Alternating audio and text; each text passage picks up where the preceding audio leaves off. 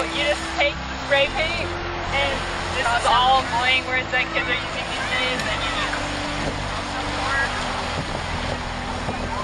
We haven't gotten anyone yet, we just set up though. You can be our first if you want. Here, you want How much does it cost?